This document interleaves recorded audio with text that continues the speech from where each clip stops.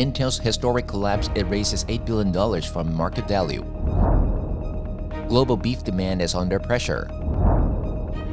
Turkey alerts citizens of attack risk in the US and Europe. Philippines to offer value-added tax refund to foreign tourists. Deadly New Zealand flood crisis extends to North Island. Protests across US on deadly police beating of unarmed black man. CCP targets American kids by infiltrating K-12 schools. Japan firm opens whale meat vending machines.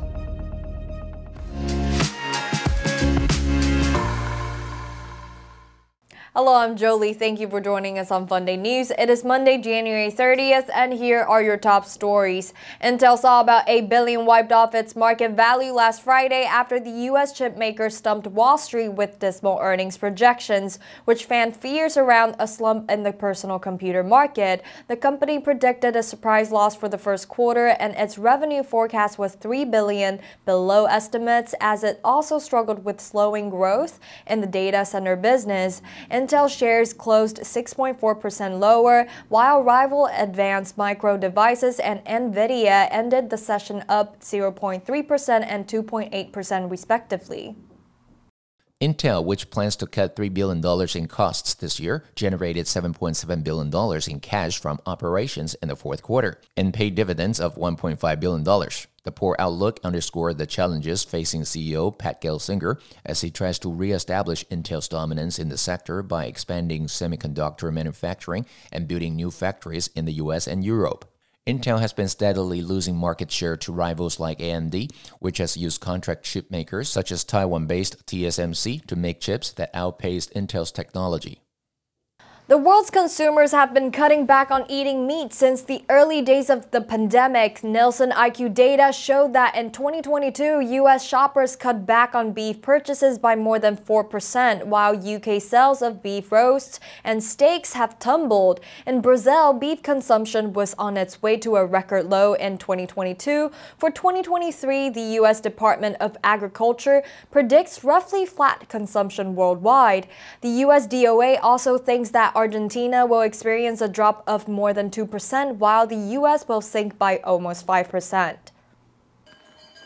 In the UK, according to data compiled by farm advisor AHDB, beef purchases at grocers and restaurants have fallen 5.8% from a year earlier, with sales of roasting joints down 22%, while steak buying dropped about 19%.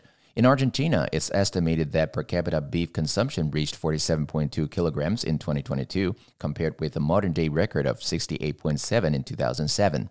Meanwhile, data from the Rosario Board of Trade show that consumption of chicken has grown to nearly 46 kilograms from roughly 18 two decades ago. Turkey warned its citizens on Saturday against possible Islamophobic, xenophobic, and racist attacks in the U.S. and Europe after its Western allies cautioned their citizens in Turkey about possible terror attacks. The Turkish Foreign Ministry recommended its citizens to act calmly in the face of possible harassment and attacks and to stay away from areas where demonstrations may intensify. The ministry said that recent increases in anti-Islam and racist acts reflect the dangerous dimensions of religious intolerance and hatred in Europe.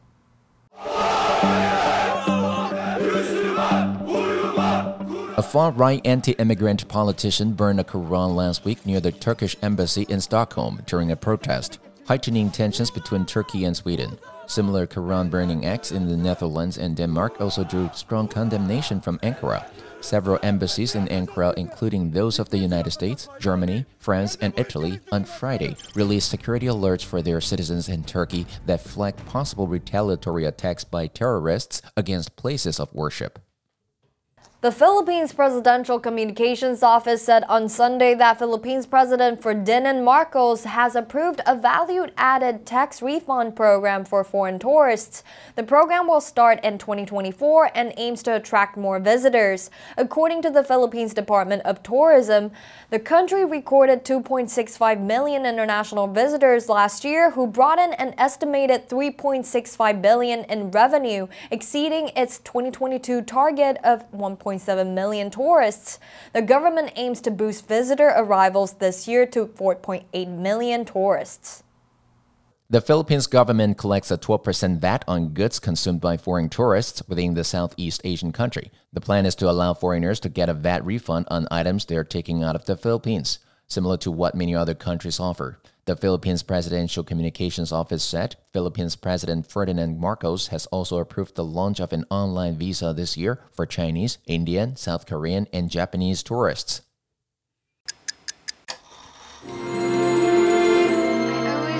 time on my own, I never thought I'd be here. I take your blessings with your heartaches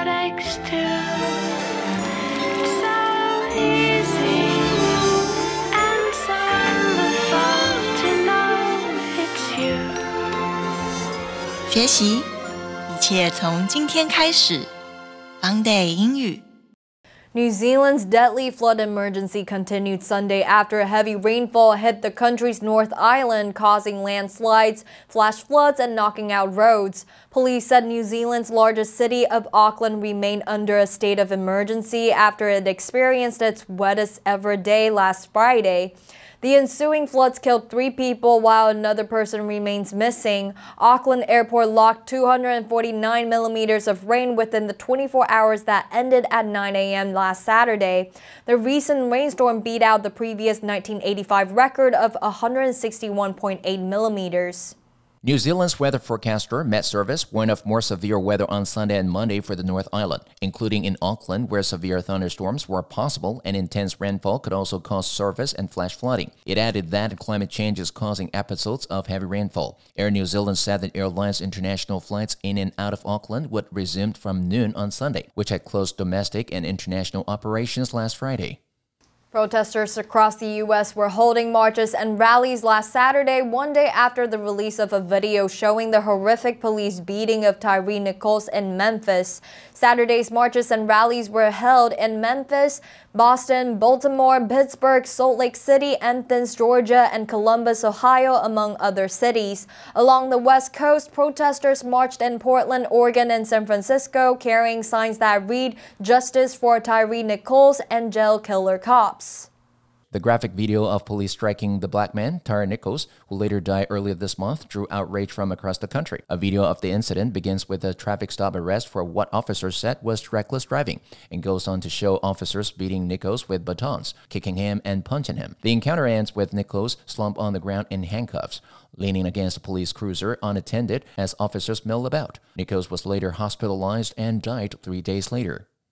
On January 10th, U.S. congressional Republicans and Asia policy experts created a panel named the House Select Committee on the strategic competition between the U.S. and the Chinese Communist Party to bring awareness to the CCP's influence on K-12 education, as well as colleges in America through what are called Confucius Classrooms and Confucius Institutes. The chairman of the committee, Mike Gallagher, said they are projecting the CCP's preferred message message in the United States.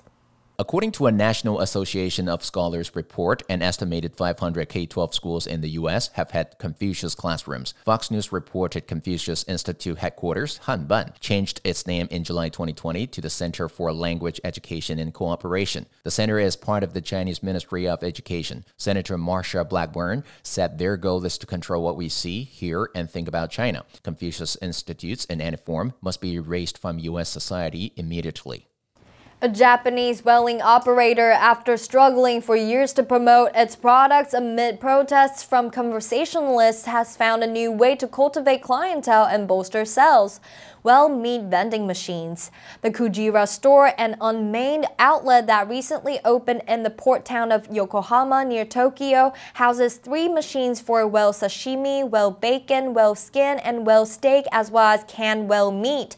Prices range from 1,000 yen, around 7.7 US dollars, to 3,000 yen or $23.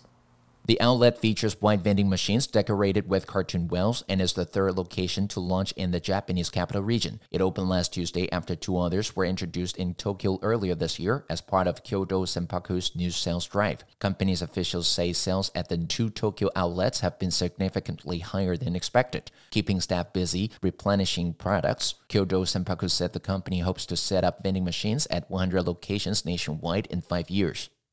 Fun Day News will help you sharpen your English skills and keep you informed about international current events. If you want to know more about our other programs and keep learning about the world's most important topics in English, please click the link in the description below to join Funday for free. I'm Jolie, your host. I'll see you next time.